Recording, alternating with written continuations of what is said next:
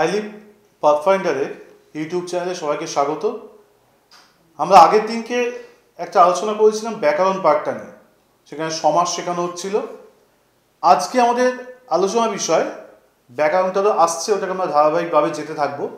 আজকে আমার আলোচনা বিষয় হচ্ছে আমাদের মেনের যে ডেসক্রিপটিভ পার্ট থাকে, সেই অংশ নিয়ে আজকে আমরা আলোচনা করব মেনলি প্রতিবেদন নিয়ে। এই যে মেনে প্রত্যেকটা চাকরি পরীক্ষার ক্ষেত্রে আমাদের কিন্তু মেনটা দিতে হচ্ছে। এবং মেনে গিয়ে একটা সমস্যা আমরা ফেস করছি, সেটা হচ্ছে যে স্টুডেন্টরা ইংরেজি, বাংলা দুটোই করতে হচ্ছে মেনে এবার ইংরেজিটা দেখা যাচ্ছে ছেলেপেলে স্টুডেন্টরা যারা ইংরেজিটা একটু সিরিয়াসলি করে, কারণ তাদের অনেকে ইংলিশে প্রবলেম থাকছে বা ইংলিশটা তারা সিরিয়াসলি দেখছে। কিন্তু বাংলার ক্ষেত্রে কিন্তু একটা সমস্যা আমরা ফেস করছি, কারণ তারা বাংলাটাকে শিখতে চাইছে না, ভাবছে মাতৃভাষা হয়ে যাবে, কোনো অসুবিধা হবে না। ফলস্বরূপ তারা যখন পরীক্ষা হলে যাচ্ছে, গিয়ে যখন লিখতে বসছে, হয়তো কোনো টপিক পাচ্ছে, তাদের মনে হচ্ছে তারা লিখতে পারবে। কিন্তু লিখতে গিয়ে যে প্রবলেমগুলো ফেস করছে, সেটা হচ্ছে ফার্স্ট কীভাবে লিখব, কতটা লিখব, এবং কি লিখব, এটা কিন্তু সমস্যা। আমাদের লেখা অভ্যাস চলে গেছে। আমরা এখন পুরোটাই যন্ত্র নির্ভর হয়ে গেছি। আমাদের কাছে মোবাইল চলে এসছে ভয়েস রেকর্ড চলে এসছে। ফলস্বরূপ কী হচ্ছে? আমরা ভয়েস রেকর্ড করছি, কোনো জিনিস লেখা হয়ে যাচ্ছে। ফলে কী হচ্ছে? আমাদের কিন্তু হাতে লেখার একটা অভ্যাসে সমস্যা দেখা যাচ্ছে। এবং আমরা যে কটা পরীক্ষা আছে পিএসসি সব কটা পরীক্ষা কিন্তু মেনটা আছে। তার মধ্যে যদি আমি বিসিএসএ পার্টটাকে ধরি, তাহলে কিন্তু বিসিএসএ যে কম্পালসারি দুশো বাংলা আছে পার্টটা এটা কিন্তু ভীষণ ইম্পর্ট্যান্ট এবং সেটা কেন আমরা একদিনকে আলোচনা করে দেব বিসিএস সংক্রান্ত মেনে আলোচনাতে, যে এই যে সিলেবাস স্ট্রাকচারটা এরকম কেন এবং এটা কি প্রয়োজন আছে, কেন আজকে এই বলছি, এটা খুব প্রয়োজন আছে। কারণ এই কম্পালসারি পেপারের উপর কিন্তু, অর্থাৎ বাংলা এবং ইংলিশ, এই কম্পালসারি পেপারের উপর কিন্তু তোমার ইন্টারভিউ সেশন বা পার্সোনালিটি টেস্টে অনেক কিছু নির্ভর করছে। তা সেই জন্য এই জায়গায় কিন্তু একটু সিরিয়াস হওয়া প্রয়োজন আছে। প্রতিবেদন আমাদের যে কদিন আমরা চাকরি বাকরি পরীক্ষা দিতে থাকব, সেক্ষেত্রে ইংলিশ, বাংলা দু ক্ষেত্রে কিন্তু প্রতিবেদন আমাদের করতে হচ্ছে। এর প্রতিবেদন লেখাটা সমস্যার চেয়ে বড় কথা হচ্ছে, কীভাবে লিখব? এই ফরম্যাট সংক্রান্ত একটা সমস্যা কিন্তু আমাদের প্রত্যেকের আছে। তার চেয়েও সমস্যা হচ্ছে, এক একজনে এক এক রকম ফরম্যাটে যান। ফলে স্টুডেন্টরা কি হচ্ছে, এখন যেহেতু প্রচুর চ্যানেল চলে এসছে এবং সেখানে আমরা প্রতিনিয়ত দেখতে থাকছি যে কে কি আপলোড করতে থাকছে। ফলস্বরূপ দেখা যাচ্ছে যে ফরম্যাট সংক্রান্ত একটা দ্বিধা থেকে যাচ্ছে। কারণ এই জন্য এই কথা বলছে ওর জন্য ওই কথা বলছে, ফলে স্টুডেন্টরা কিন্তু লিখতে গিয়ে একটা সমস্যার মধ্যে পড়ছে। সেক্ষেত্রে আজকে আমি সেই ফরম্যাটের জায়গা থেকে আলোচনা করে দেবো যে আমাদের প্রপারলি কোন ফরম্যাটটা মেনটেন করা উচিত প্রতিবেদনের ক্ষেত্রে। আমি কিন্তু বলে দিচ্ছি যে এই ফর্ম্যাট কিন্তু কেউ শেখাচ্ছে না, যেটা কিন্তু পিএসসি মেনটেন করে খাতা দেখানোর দেখার সময়। অর্থাৎ তোমরা কিন্তু প্রত্যেকে, আমি যে ফর্ম্যাটটা দেখিয়ে দিচ্ছি মোটামুটি, সেভাবে দেখো যে কোন ফর্ম্যাটটা আমাদের মেনটেন করা উচিত।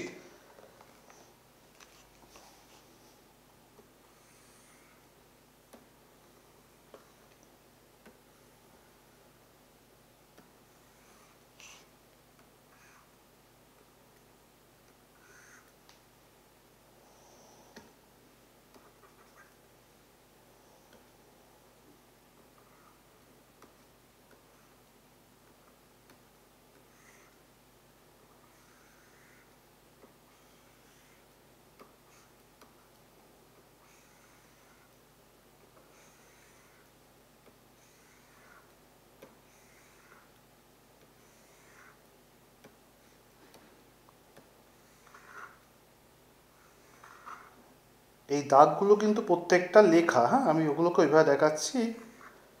একটু এটা মেনটেন করে শুধু দেখানোর জন্য বেঁকে গেছে, হয়তো নিশ্চয়ই দেখে নেবে। আমাদের কিন্তু যদি আমি এটাকে পেজ ধরে দিই, তাহলে পেজ ধরলে কিন্তু তার ভেতরে লেখাটা কিন্তু এরকম হবে। প্রথমে কিন্তু শিরোনাম দিচ্ছি আমরা, তার নিচে আন্ডারলাইন আন্ডারলাইন করছি শিরোনামের।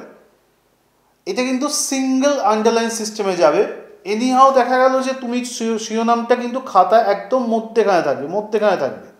এবার দেখা গেল তুমি শিরোনামটা লিখতে গিয়ে মধ্যেখানে করতে পারো হয়তো অনেকটা বড় করে ফেলেছো লিখতে গিয়ে। তোমাকে মেনটেন করবে একটা জিনিস যে তখনই কি করবে, আমি দেখিয়ে দিচ্ছি তোমাদের, যে ধরে নাও তুমি শিরোনামটা করতে পারোনি, ছোট করতে পারোনি, লিখেছো। তারপর সমস্ত কী করবে, ওই দিকটা আর যাবে না সমস্ত নিচে নামিয়ে দেবে। এবং আন্ডারলাইন কিন্তু একটাই সিঙ্গেল আন্ডারলাইন সিস্টেম বলে এটাকে করবে এবার প্রথমে যে দুটো গ্যাপ আমরা দেখতে পাচ্ছি, সেখানে লিখব আমরা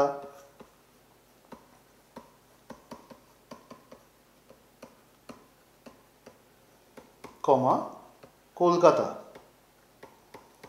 ডেট তারিখ, সময় এখন আর দিতে হয় না, মাথায় রাখবে, এটা কিন্তু আপডেট হয়ে গেছে এবং সেখানে ডেট তারিখ, সময় দিতে হয় যে কোনো খবরের কাগজ খুলে তোমার সেটা দেখতে পাবে। এবং তারপরে আমরা একটা কোলন দিচ্ছি। কোলন দিয়ে তারপর থেকে দেখো পাশ থেকে লেখাটা শুরু করছি। শুরু করলাম, প্রথম প্যারাগ্রাফ শেষ করলাম। জেনারেলি আমরা কি করি? প্রথম প্যারাগ্রাফ শেষ হয়ে যাওয়ার পর আমরা দ্বিতীয় প্যারাগ্রাফ কোথা থেকে শুরু করি? দ্বিতীয় প্যারাগ্রাফ ঠিক এইখান থেকে শুরু করি, আমরা যাব না। আমরা ঠিক আবার প্রথম থেকে শুরু করব। ঠিক আছে? তাহলে আমরা কিন্তু মাথায় রাখব যে এই যে গ্যাপটা আমরা মেনটেন করে আবার কিন্তু প্রথম থেকে লিখছি, এইটা আমরা মাথায় রাখব। এবং দেখো প্রত্যেকটা সমানভাবে নেবেছে। যদি খাতা পাশ দিয়ে দেখো, তাহলে দেখো সমানভাবে নেবেছে। এইভাবে কিন্তু ফরম্যাটটাকে সাজাতে হবে। এইবার কোন ফরম্যাটের সাথে যাব? এটা একটা প্রশ্ন। অবশ্যই প্রশ্ন। আমরা ফরম্যাটটা একটু লিখে নিই।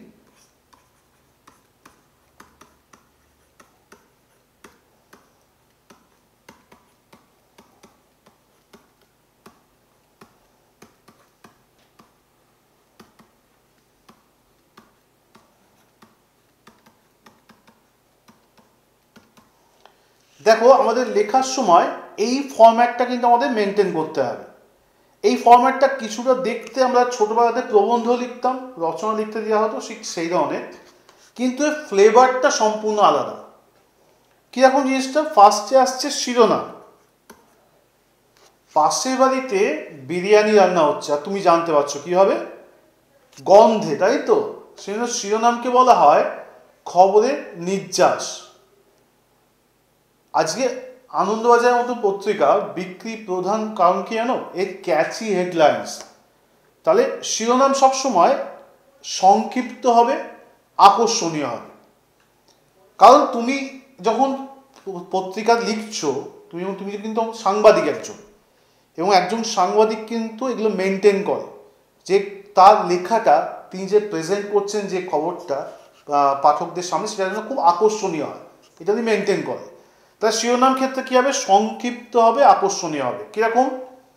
ধরে নাও, তোমাদের একটা খুব কমন টপিক পরীক্ষাতে আসে যে নিত্য প্রয়োজনীয় জিনিসের মূল্যবৃদ্ধি ঘটছে এবং সেক্ষেত্রে মধ্যবিত্ত যে সমস্যায় পড়ছে, সেক্ষেত্রে একটা প্রতিবেদন লেখো। তুমি এটা লিখতে গিয়ে ফার্স্টে লিখলে যে ঊর্ধ্বমুখী বাজারে মধ্যবিত্তের হেসেলে টান এটা কিন্তু একটা ক্যাচি হেডলাইন্স এটা তুমি যখনই লিখবে, তখন কিন্তু স্যার একটা ভালো মার্কস দেবেন।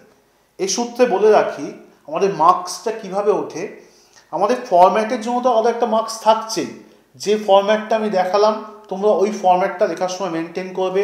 ওটা কিন্তু যারা খাতা দেখেন, তার ফরম্যাটের জন্য আলাদা একটা মার্কস থেকে দেন। সেই ফরম্যাটের মধ্যে কিন্তু ওই মার্কসটা চলে যাচ্ছে। এছাড়া এই যে আমরা চারটে পার্ট করে ভেঙে রেখে দিয়েছি, এইগুলোর জন্য প্রত্যেকটার জন্য কিন্তু ইন্ডিভিজুয়ালি বা আলাদা করে প্রত্যেকটার জন্য মার্কস দেওয়া আছে। অর্থাৎ আমি এইগুলোকে যত সুন্দর করে রিপ্রেজেন্ট করতে পারব, তত ভালো মার্কস কিন্তু আমরা পাবো মাথায় রাখতে হবে তাই শিরোনামের ক্ষেত্রে কি বললাম? সংক্ষিপ্ত হবে, আকর্ষণীয় হবে। যত সংক্ষিপ্ত হবে, যত আকর্ষণীয় হবে, তত ভালো মার্কস কিন্তু আমরা এখান থেকে পাচ্ছি। নেক্সট হচ্ছে সূচনা অংশ। যে কোনো খবরের কাগজ খুলে খবরটা বের করবে, দেখবে ফার্স্টে একটা ছোট প্যারাগ্রাফ আছে। ওই প্যারাগ্রাফটাকে সূচনা অংশ বলা হয়। সূচনা অংশে কি হয়? আমরা প্রেসি বা সার সঙ্গে কীভাবে করি? একটা বড় বিষয় থাকে, সেটা জাস্ট জিস্টটুকু আমি তুলে দিই। সূচনা অংশে কিন্তু তাই থাকবে। আমরা যে বিষয়টা নিয়ে লিখছি, সেই বিষয়টা একটা সংক্ষিপ্ত আকার এই সূচনা অংশে দেওয়া থাকবে। অর্থাৎ যিনি পাঠক, তিনি যখন পড়ছেন, তিনি বিষয়টা সম্পর্কে অবগত হন, জানতে পারেন যে কী নিয়ে লেখা হবে। তারপর যদি তার আগ্রহ জন্মায় তারপর সেটা সেকেন্ড পার্টিকে যায়। তাহলে কি বললাম? সূচনা অংশে অবশ্যই কিন্তু আমরা যে বিষয়টা নিয়ে লিখতে আছি, তার একটা সংক্ষিপ্ত আকার দেওয়া থাকবে। নেক্সট হচ্ছে বিবরণ অংশ। এখানে খবরটা তুমি ডিটেলে লিখবে, কিন্তু কিছু জিনিস মেনটেন করে। কি মেনটেন করে? মেনলি এখানে বলা হয় কোনো বায়াস হওয়া যাবে না, অর্থাৎ উগ্রতা থাকবে না লেখার মধ্যে। কীরকম? মূল্যবৃদ্ধি নিয়ে লিখতে দেওয়া হয়েছে আর তুমি লেখার সময় গভর্নমেন্টে এত সমালোচনা করেছ যে সেটা চোখে পড়ে যাচ্ছে। যারা প্রফেসররা খাতা দেখছেন, তাদের কাছে কিন্তু ডেকোরাম দেওয়া আছে। তুমি যদি কোনো মতে বায়াস হও বা তোমার লেখার মধ্যে উগ্রতা থাকবে, তাহলে কিন্তু তারা খাতাটা বাতিল করবে বা কেটে দেবে। কেন তার পিছনে কারণটা? কারণটা হচ্ছে তুমি যখন চাকরি পেয়ে একজন, ধরো তুমি একজন বিসিএস অফিসার হবে, তোমাকে তো বিভিন্ন জায়গায়, বিভিন্ন স্তরে মানুষের সাথে কাজ করতে হবে। তা লেখা মাধ্যম দিয়ে ওরা জেনে নিতে চাইবে যে তুমি কত বায়াস তুমি যদি এই ধরনের হও মানে তুমি তোমাদের গভর্নমেন্টের সম্পর্কে একটা বিরূপ মন্তব্য থাকে তাহলে তুমি তো গভর্নমেন্টের কোনো প্রকল্প গভর্নমেন্টের কোনো কাজ সাধারণ মানুষের মধ্যে দিতে পারবে না। তাই সেই জন্য এইটা ক্ষেত্রে কিন্তু খুব সচেতন থাকতে হবে যে আমি কি লিখছি। আমি প্রথমে বলেছি কম্পালসারি পেপারটা কিন্তু ভীষণ ইম্পর্টেন্ট তার মধ্যে একটা ভাগ কিন্তু এইটা যে আমি কি লিখছি এখান দিয়ে তোমার মানসিকতা জাজ করা হয়? যে তুমি কোন জায়গায় দাঁড়িয়ে আছো? আদৌ তুমি চাকরির যোগ্য কিনা? তোমার মেন্টাল স্টেবিলিটি কি আছে? মাথায় রাখবে। তাহলে বিবরণ অংশে প্রথম আমরা কি গেলাম?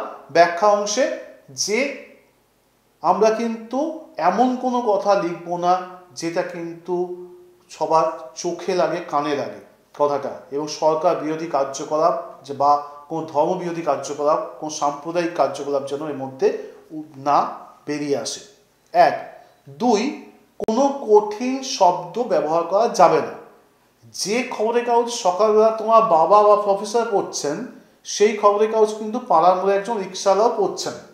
তাহলে সবার গ্রহণযোগ্য শব্দ হতে হবে। তিন, কোনো কোনো জায়গাতে আমাদের কারও বক্তব্য লিখতে হতে পারে। যেমন, মাননীয় স্বাস্থ্যমন্ত্রীর বক্তব্য অনুযায়ী বলে আমরা কমা দিয়ে ইনভাইটেড কমাতে লিখি, বক্তব্য, এক্ষেত্রে কিন্তু আমরা লিখতে পাচ্ছি না। কারণ সাংবাদিক কি করে, কোনো খবর শুনে আসে, তারপর নিজে মতন করে প্রেজেন্ট করে। তা সেই জন্য কিন্তু আমরা জাস্ট বক্তব্য লিখে কমা দিয়ে ডিরেক্ট লিখব বক্তব্যটা। এখানে কিন্তু কোনো ইনভার্টেড কমাতে কোনো বক্তব্য দেওয়া যাবে না। চার, অনেক জায়গাতে শতাংশ হিসাব আসবে, যেমন ধরুন পাঁচ শতাংশ। শতাংশ এইভাবে লেখা যায় না, শতাংশ কিন্তু কথায় লিখতে হবে। আর সংখ্যা কোথায় কোথায় ব্যবহার করতে পারছি আমরা? সংখ্যা ইউজ করতে পারব। ইয়ার ধরুন আমি লিখলাম উনিশশো ছাব্বিশ সালে ঘটনাটা ঘটেছিল। ডেট যেমন লিখলাম বারোই জুন, এইভাবে। তাহলে সংখ্যা কিন্তু আমরা একমাত্র শতাংশ হিসাব, সাল, তারিখে ব্যবহার করতে পারছি। বাদ বাকি যেখানে যেখানে সংখ্যার কথা হবে আমাদের কিন্তু কথা লিখতে হবে। যেমন লিখলাম পাঁচ জন পাঁচ জন এসেছে। বা ধরে নাও পাঁচশো বছর আগে। এই ধরনের। অর্থাৎ এই তিনটে জায়গা বাদ দিয়ে যেখানে যেখানে আমাদের সংখ্যা কথা থাকবে, সেখানে কিন্তু আমাদের কথায় লিখতে হবে। আর বানান ভুল করবে না, বানান ভুল নতুন নিয়ম আসছে আগে পাঁচটা বানান ভুল করলে এক মাপ কাটা যেত, এখন খুব সম্ভবত প্রত্যেকটা বানান ভুলের জন্য পয়েন্ট ফাইভ করে কাটা যাচ্ছে। তবে মজার বিষয় হচ্ছে বানান, বাংলা বানান যেভাবে পরিবর্তন হয়ে গেছে, খুব একটা ভুল হওয়ার কারণ নেই, কারণ হস্যি দিঘিতে উঠেই গেছে, যেটা মেনলি ভুল হওয়ার ছিল, সবই এখন হস্যি হয়ে গেছে। তবু আমরা চেষ্টা করব পরীক্ষা হলে যেন আমরা যে বানানটা শিখে এসেছি, সেই ঠিক বানানটা দেওয়ার চেষ্টা করব, আমরা কিন্তু অন্য কোনোতে যাব না। আর লাস্ট হচ্ছে উপসংহার অংশ। এখানে একটা মানবিক মূল্যবোধ জাগিয়ে তোলা হয় পাঠকে। এটা খুব কঠিন কথা বলছি, খুব সহজ হয়ে যায়। তোমাকে মূল্যবৃদ্ধি নিয়ে লিখতে দেওয়া হয়েছে। তুমি শেষে গিয়ে লিখছো, এই মূল্যবৃদ্ধি সম্পর্কে সরকারি তরফ থেকে এখনও কোনো প্রতিক্রিয়া জানানো হয়নি। তবে সাধারণ মানুষের বক্তব্য অবস্থার যদি শীঘ্র পরিবর্তন না হয়, তাহলে মধ্যবিত্তে প্রিয় রান্নাঘরে তালা ঝুলবে। এটা বলে তুমি ছেড়ে দিয়েছ। এবার আমি তুমি যখন এটা পড়তে যাচ্ছি খবর কাগজ শেষটা পড়ছি, আমার সত্যি তো সরকার কিছু বলছে না ইনি এখনও? এই যে উদ্বেগ জাগিয়ে তোলা, এটা যে কোনো প্রতিবেদনের লক্ষ্য।